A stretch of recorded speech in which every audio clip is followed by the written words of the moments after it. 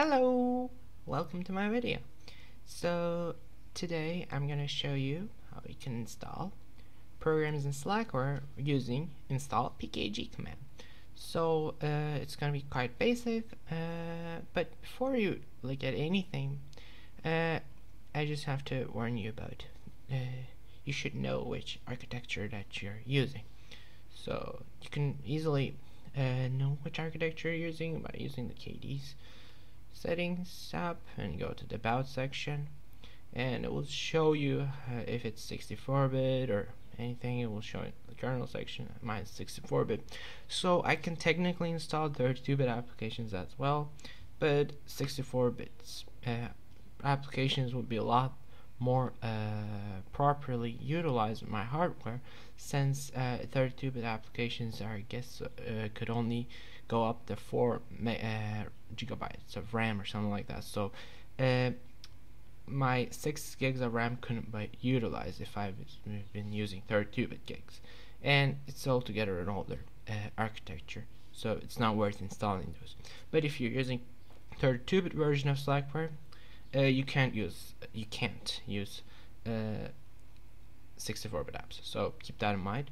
So uh, we first have to download the programs so uh, unlike eh, using normal package managers like in eh, Debian or any other I guess yeah you could use Slackware's own package manager as well but this is a bit different. You have to first download the package on your own and then this command only installs it so keep that in mind.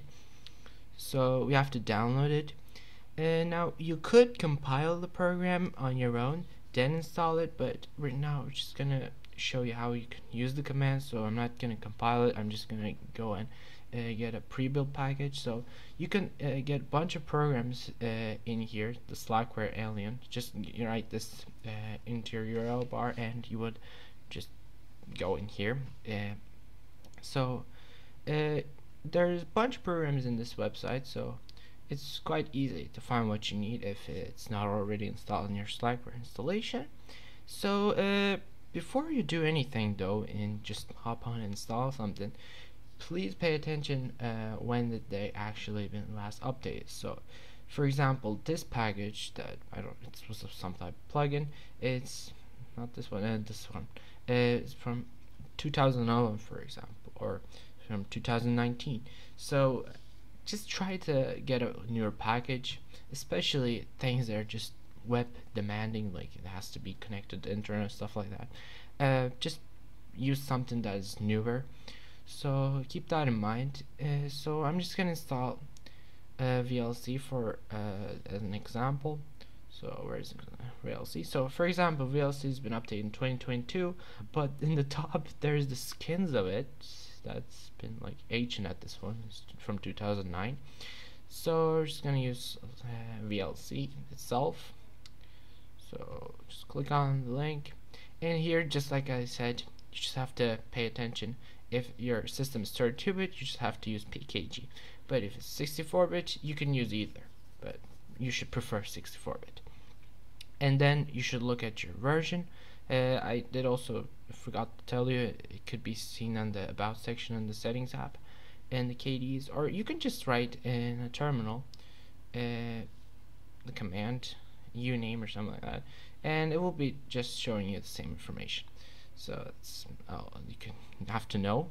And now I'm just gonna select 15 because I'm using 15 you could possibly use uh, current today in 15 but I think it would be not the best idea since they're almost not the same but kind of similar version numbers so uh, it's the best one that using in 15 so I'm just gonna use this one. And now here what you have to download is actually one thing uh, so you don't have to download all of them. Uh, the easiest method uh, I found and figured out is to just look at the largest file. So you can see that, uh, you can just push it here and just sort it by size. But I'm already seeing it. This is uh, 26 MB or just M for some reason. Uh, so this is the package. And if you want to uh, totally know uh, which package that you're looking for. Just try to look with these endings. So X TXZ file format. So that's all you have to do. So and click on download. This I already did download this so why did I even click it? This and the internet is not the best. Uh, so I already did it so I'm just gonna cancel this. And put that down and go to your downloads directory. or where you downloaded. It so as you can see it's over here in my system. Now uh, we're just gonna do this afterwards with terminal but trust me it's gonna be really easy. So I'll just open up a terminal really basic. And now you have to be uh, giving yourself root permissions. Now you could use sudo possibly in this method but there's a one important detail if your system uh, your user is not in sudoers file it won't work. Uh, any sudo command won't work. So let's test that if mine's in or not show you. So just gonna give sudo uh, install pkg.